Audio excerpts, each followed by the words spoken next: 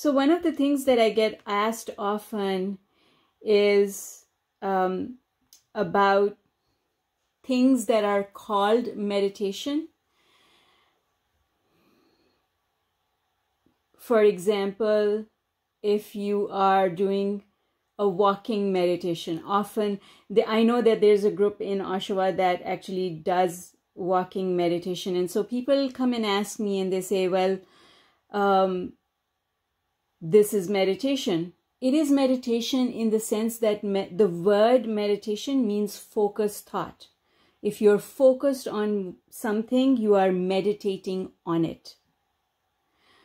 But um, what happened to Caitlin? Okay. Caitlin, are you still here? No, she's not. Oh, I don't know what happened. Uh, hopefully she'll be back. okay, so going back to the question, a lot of times I get asked this question what is, um, you know, if I'm doing a walking meditation, is that the same thing? How is silent meditation different from walking meditation?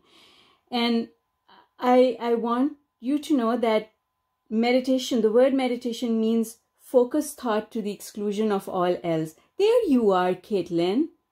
I was like, what happened? My my Wi-Fi went out, so I'm currently using my cell phone as a hotspot. So um. Oh. Hopefully everything is fine. okay. Yeah. Okay. So if you see me go again, I'm really glad that you're co-host, or it would have shut everything down. I know, right? Yeah. So that's good. But I looked around and suddenly you went there, and I was like, oh. so if you see me pop out again, it's my Wi-Fi is being okay. Strange. No problem. Now okay, we know. Sorry. Now we know. Now we know. It's all good. So, as I was saying, uh, it is meditation in the sense that you are focused on something to the exclusion of all else.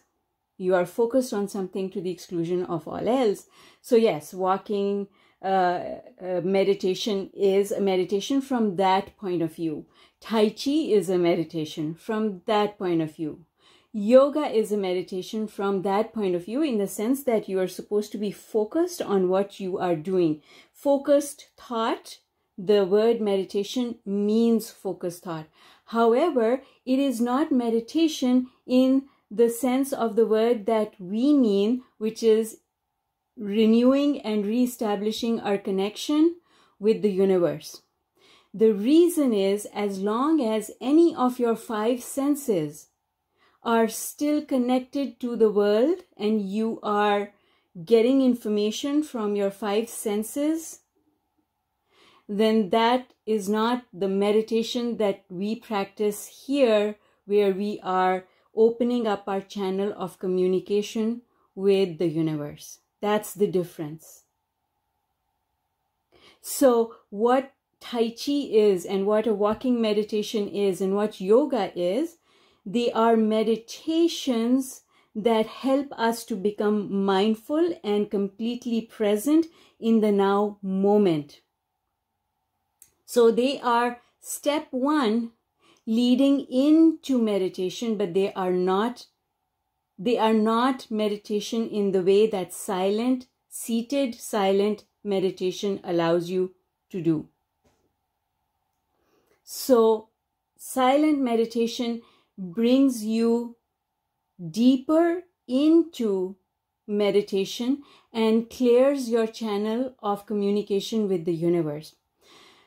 You see, the reason is if you're walking, you're paying attention to where you're going. Right? So, walking meditation where they walk, you know, like in a big gym or something, they'll walk on the periphery.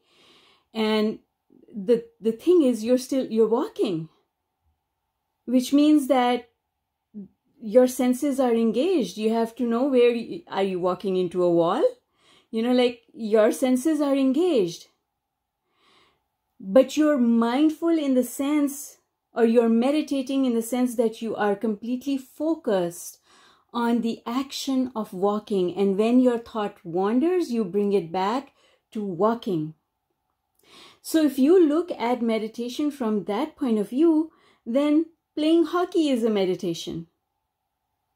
Any sport is a meditation. Running is a meditation because you are so focused on that action to the exclusion of all else.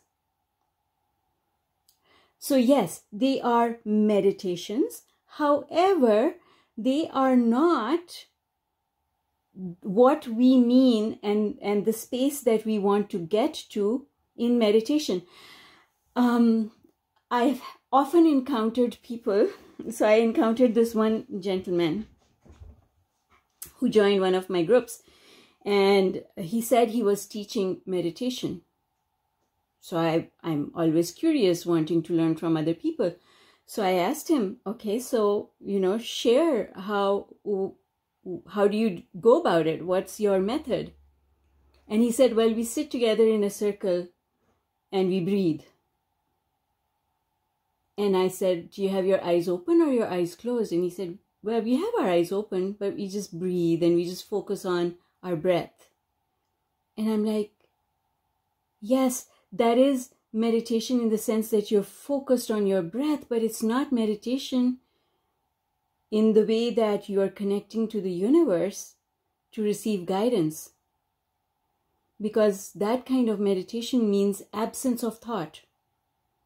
Mindfulness is still thinking meditation is the absence of thought. When you go, when you fall into that deep hole between, in the space between our thoughts, you're not thinking anymore. There is no thought in your mind. It's, it is an empty void. You, you have not a single thought in your head, but you feel so looked after your well being is so obvious. And, and the thing is, as long as your eyes are open, you see, your eyes are the mechanism through which you collect. 70% of your distractions are because of your sense of sight. Because there's so much going on in the world around us, our sense of hearing and our sense of sight are our strongest senses because we are collecting most of our data about our environment through these senses. For those people for whom one sense is absent, for example, those people who don't have the um, uh, the gift of sight, then their hearing replaces that. All their distraction comes through their hearing and through their sense of smell. So, unless you take your five senses and away from your environment and point them inwards, you're not really opening your communication channel with the universe for the purpose of receiving guidance.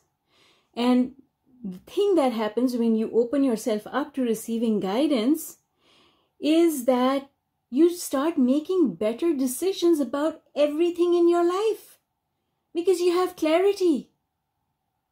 Because you're acting on information that is not limited to what your mind can, can come up with because your mind has limited resources. Your mind cannot see all. The universe sees all. And so, what we do is our thoughts clutter that channel. I almost I look at it as a conduit. It's like a pipe, a pipe that is connecting us with the with the universe where all knowledge of everything is held. As long as we are thinking, and for those people who are A type personalities and their minds are going in a whir like that, I used to be like that, so I understand that very well.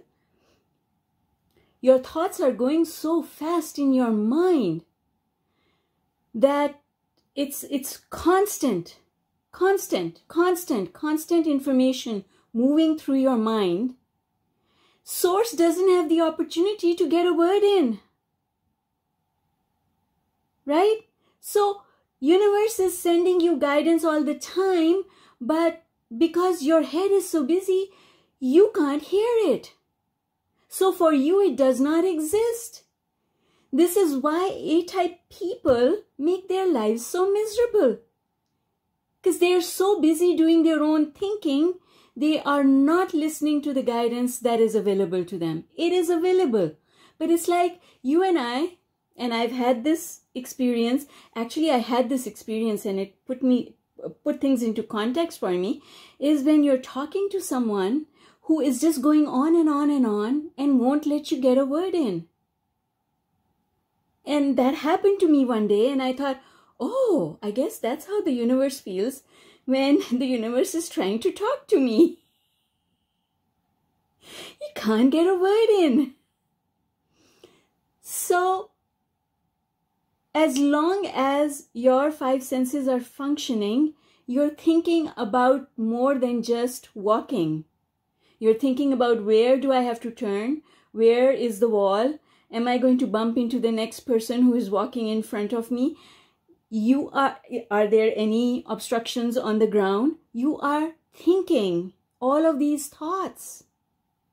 So that communication channel that the universe wants to use in order to communicate with you, that communication channel is cluttered with useless information a lot of times right?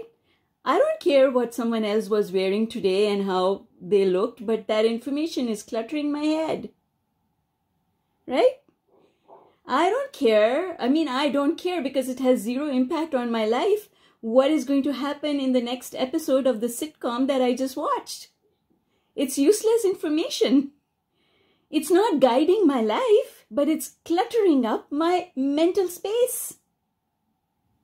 So the universe is trying to say, Zehra, listen, this is what you should do. And Zehra's thinking, yeah, but I don't know what that character is going to say to that character in the next episode. You know, like it's a, it was a cliffhanger. And Zehra's just not listening. So that's why we meditate. Because when we meditate, silent meditation, meaning we cut out the distractions that are coming from here, from here, from here, from here. We are cutting out all those distractions. Now that communication channel is clean, it's clean and clear, and we can get that information that is being sent to us. We can download it it's it happens to us in our uh, when in our internet uh, usage all the time. If too many too many things are going on in the house too many people are accessing the internet it slows down. So your guidance slows down because your your speed of processing information reaches its max just because of the thoughts you're thinking. So you don't have the capacity to receive